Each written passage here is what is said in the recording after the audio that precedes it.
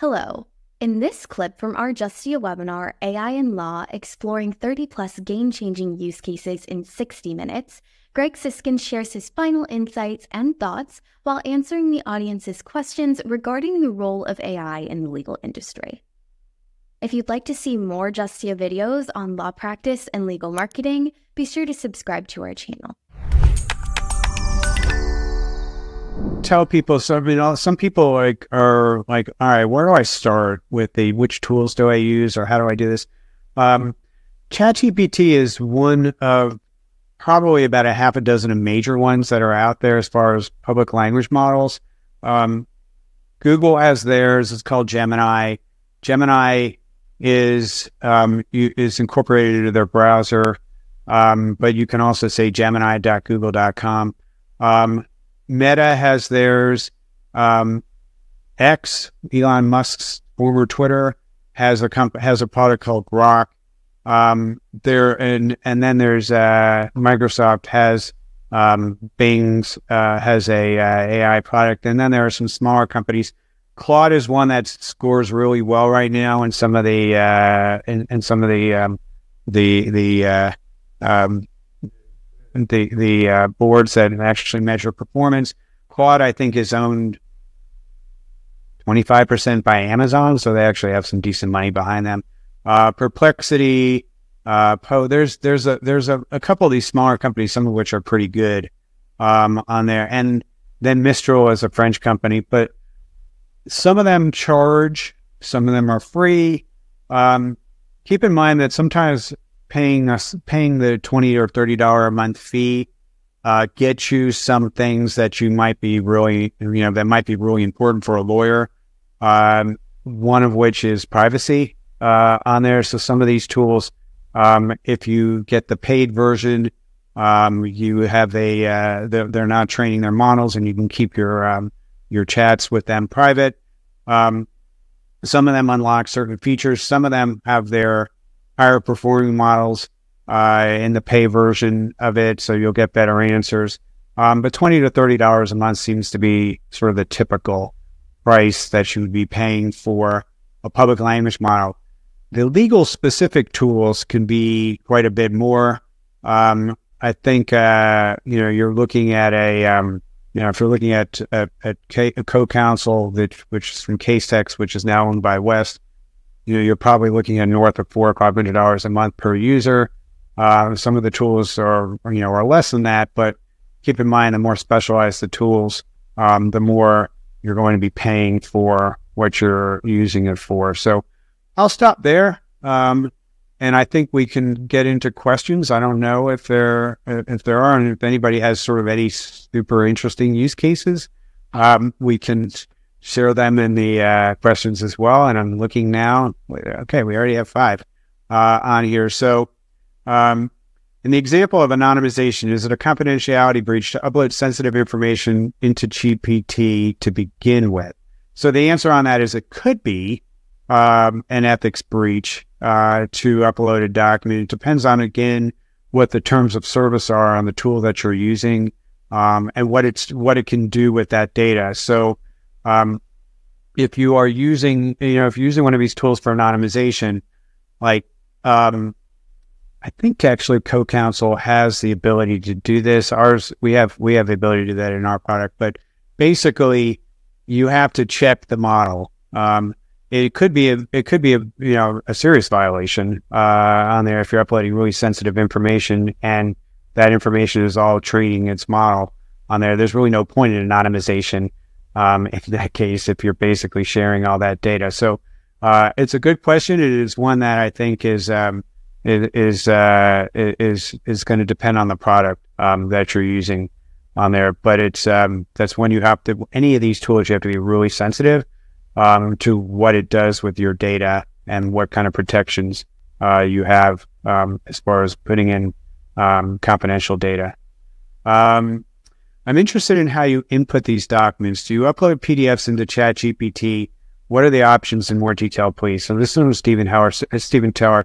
So it really kind of depends on, first of all, it depends on what kind of document you're uploading. So if it's a document that is, you don't really care about confidentiality, like you've just gotten a, you know, a court case that was published on the court's website, and you are upload. You, you can go into ChatGPT, for example, and upload.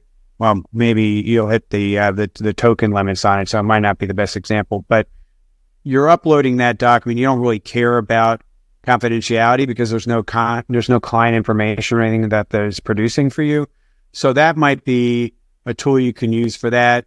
Um, Adobe Acrobat Pro is one of the products that uh, I was talking about before, which now have generative AI features. Um, and you have a, a, lot of law firms uh, are using Adobe Acrobat, and obviously in the Acrobat Cloud, there are a lot of protections on uh, privacy of data that uh, the law firms are posting into the cloud. Um, so that might be an example of what you can use to upload a PDF and be able to get those uh, kind of answers that you would want with generative AI, or you can use a legal specific tool uh, on there. So, um, you know, like I said, Co- Lexis and CoCounsel, I'm pretty sure I have both. I know CoCounsel has uh, the ability to upload PDFs and have it do summarizations. Um, and uh, like uh, like I said, there are other products in, in, legal that are out there, including ours. Um, but that's uh, the the answer on that is you, have a you have a number of choices that you can use. Your factors are going to be: do they protect confidentiality, and can they handle a larger document on there if it is a larger document? So that's uh, a couple things to keep in mind. Also, what is it that you're doing? So sometimes you're uploading a document, a PDF. Are you just trying to summarize it, or actually are you performing tasks on it, like trying to get analysis out of it, or have it do certain things? So um, it's going, you know, the tool you're using uh, may make a difference on uh, depending on the task you're trying to accomplish.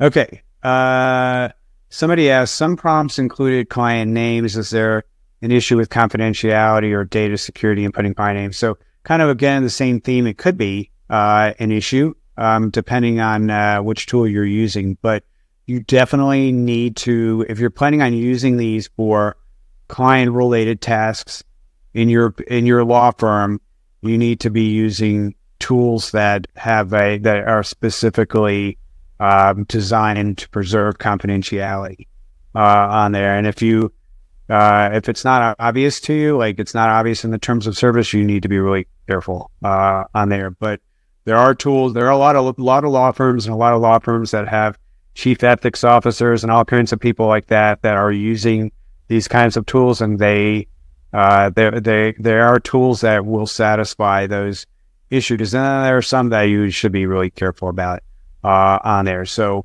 um, ChatGPT, by the way, there's like five different versions of ChatGPT with different levels of um, of data um, security and data privacy in there, and so you should know which version of ChatGPT you're looking at. I actually there's a and not in this presentation. I have another one, a um, kind of an, an, illustration of what the, the each version of ChatGPT uh, does as far as client confidentiality goes. So, anybody is like not really sure about uh, you know that they want that slide, I'm happy to send that as well. Just ask me uh, by email, and I'll send it to you. So, next question I have is: How do AI tools that are currently available compare to traditional research methods in terms of accuracy and efficiency? Um, it's a fair question and a good question on there. So they each kind of have their strength. Um, for a uh, an AI, I mean, sort of a, I guess the um, traditional legal research, online legal research tools, those are probably better from a browsing perspective. For example, if you sort of like know what you're just you're you're you're just looking to you know, like you were going to library and you were, you know what you were looking for and you were just trying to find what you're looking for and get the precise text. I think those tools can be better for that. Those tools also are not going to hallucinate, um, but they have a different problem with the traditional tools. Hallucinating being like making, you know, like giving you an inaccurate answer or producing some, putting something in a legal memo uh, that is producing for you that may not be um, the best answer on there. Um, so the problem that the traditional tools have is that they um, oftentimes will give you three or four hundred response, you know, like hits on a particular search, um, and it can be really difficult to find what you're looking for because you haven't given it the precise keywords or the precise la- the language that it's looking for. Um, in which case you may end up, and, and, you may end up also sort of being misled by the legal, by the re- online research as well, where you did not do a, a good job in terms of shaping the uh, the Boolean search that you're doing, um, and may not be getting the best answer. So I think if you know, in an ideal world, in the, it, I think people now are sort of romanticizing a little bit about traditional legal research that it's always been so good. But if you've been using it for a lot of years, you know, um, you know, you'll get a lot of garbage responses with uh, traditional legal research, and you'll waste a lot of time with that. So it's not that's not perfect either. Um, I think with generative AI, it my my preference is to still use, is to use a generative AI product because in a lot of cases I will find in the citations, um, even if I'm, I, don't trust anything that I'm getting out of generative AI as far as being accurate, um, but it usually puts me on the right track as far as getting an answer almost instantly. Um, and I'll look in the citations, and then once I start looking at cited documents, I'll have a much better handle on the topic than I did before. It's just a lot faster and easier to get to that point. Um, so I would say that uh, you know you should think about um, using both sets of tools depending on the circumstance of what you're trying to do. I do think actually I can just tell you from our own experience of designing a legal research tool, albeit in the immigration space, um, that we had a uh, because we did this with the American Immigration Lawyers Association. There was about forty immigration lawyers that they had recruited that were essentially giving us feedback on answers as it was coming in. And we, we did a lot of tweaking to the prompts to get better and better responses. We made a lot of adjustment. You know, we, we had to add in a lot of content that in areas where we were a little bit weaker to improve things. We, we ended up, uh, I think at the end of the day, uh, and we also had a score set up where until we got to a certain score, as far as like, we, we did a zero for completely wrong. 0.5 if it was sort of right, but not, but either incomplete or maybe had some elements that weren't weren't the best. And then one for a great answer uh, on there. And we were not going to uh, release the product until we had a at least on average um, a 0.8. Um, and now we're at over a 0.9. Now I tell people because every once in a while, I have an immigration lawyer, you know, that'll come up to me and say, love the product. It did get this one question uh, wrong on there, and I'm like, well, I said we know that's going to happen one out of ten times that they the product that the answer is not going to be great, and which is why you still have to be the lawyer. And I'll tell people, you know, all that any of the research products they're using, whether it's traditional or AI, uh, is that you still have to be the lawyer. You still have to read the cases that it's presenting. You still have to do you know do that analysis that uh, is what your clients are expecting of you. So hopefully that's helpful. Uh, I'm trying to see where I am in the questions. Um, what steps should a law firm take to develop and implement an AI use policy that ensures um, compliance? Can I can I do a share of my AI use policy? Um, I'm going to do that real fast because I think it might be helpful for people um, to see that. So let me pull that document up and then I'll share in a second. Okay. Do you see? Yep. Okay. So this is our AI use policy. At the beginning of it, it's sort of like it just explains, you know, what it what that we've introduced ChatGPT and why we're using it and what the purpose of it is. Uh, then it sets, you know, sort of out the, the scope. But then we explain to people that we're going to, they're going to have to go through a training if they're going to use the tech in the office, and we kind of tell them what we're going to be training them on. Uh, then we list out the appropriate uses um, that they can uh, that they can use it for, um, and then the things that would be prohibited uh, on there, which should be obvious uh, on there about some of this stuff, but maybe not necessarily to everybody. Um, and then the uh, explaining to them that uh, bad hallucinations and not relying on anything that they get too closely in there. And then we talk about data security, uh, liability, sort of all the scary things that we want people to be thinking about before they're using these tools.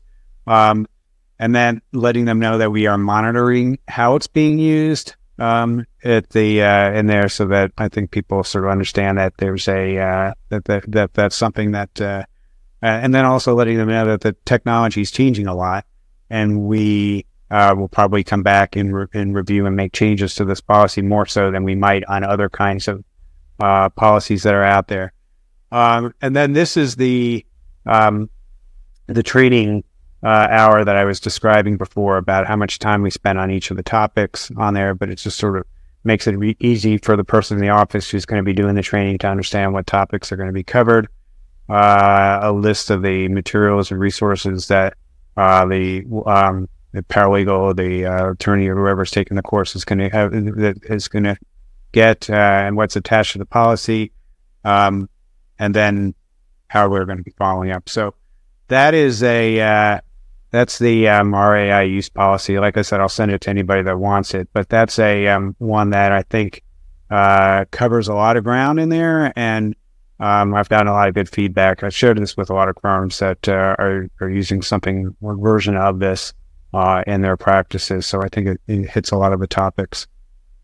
Um, somebody asked me a question on AI tools, what I would recommend for optimizing time management and scheduling. So this is like my biggest frustration with Microsoft Copilot is what I was really hoping Copilot could do um, is is do a lot more with the um, Outlook calendar uh, on there, and it doesn't seem to do much uh, on the calendar side. It does a good job. It's like summarizing emails and helping you draft emails and all that. What I would like, uh, and I don't know, Google has sort of figured this out on their version of calendar.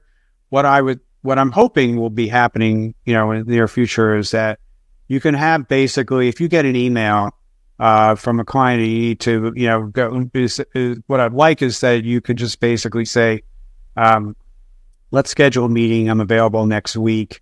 Um, and then have the, the with, with, since you're comprising that response in Microsoft and you can see your calendar to have it actually take the next, you know, it, to take the steps of, uh, of showing you maybe on the right hand of like all the spots that are available in your calendar and then maybe clicking on it and having the uh, automatically sending a calendar invite attached to the email response or that kind of thing.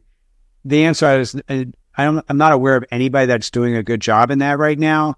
Um, but it is, I feel your pain if that's what you're hoping that you're going to be able to get out of it because I would like to get that functionality and I don't have it yet um, as far as that goes. But um, Somebody's asking a specific question about, uh, oh, I guess it's copyright um, on here. So it is a, uh, that's a fair question to ask regarding copyright, and you need to kind of pay attention right now to, I, am not aware of any um, suits against an end user um, but it seems to be the suits that are out there. So the New York Times has a suit that they have filed. Sarah Silverman, the comedian, has a suit she's filed. And there's some others that are out there where they are suing the language models.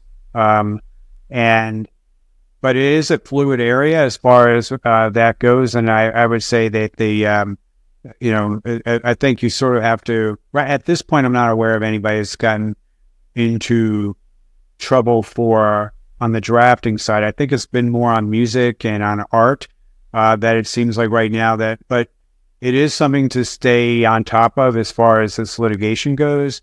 Um, I would that New York Times suit has been out for quite a while.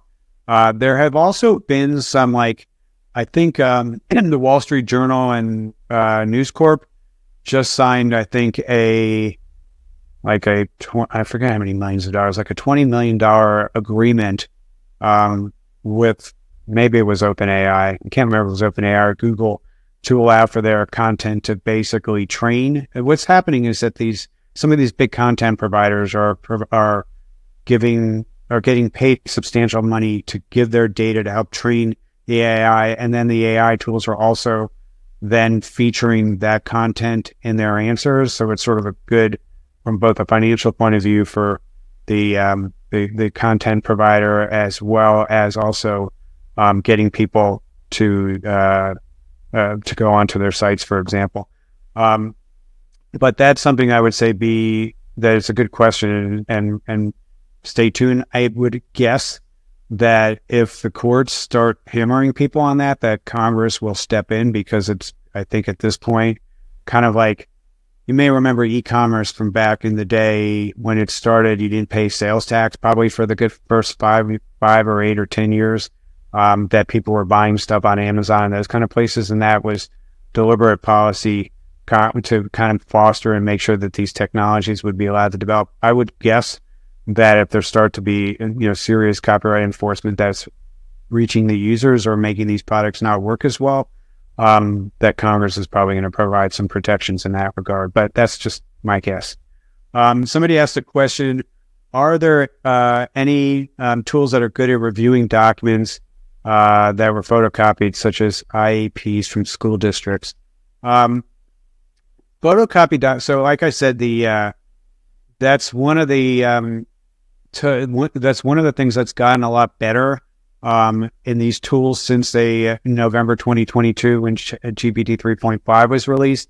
The newer ones um, do a very good job uh, on there. First, what they will do is they will, I mean, they they will do image rec, you know, convert to digital text, and then it will start answering questions from that. But I've personally done a lot of experimenting with that. I do um, a lot of I have a lot of family tree documents and things like that that are poor quality documents um, that also some of them are hand handwritten and language, you know, and sort of about 18th century or 19th century's fanciful writing and all that, and it would be hard. I have trouble even understanding it, looking at it myself, but um, it does a uh, it it does quite a good job. I think one of the things that made the biggest impression on me in that respect was um, when GPT four was released last year, last spring.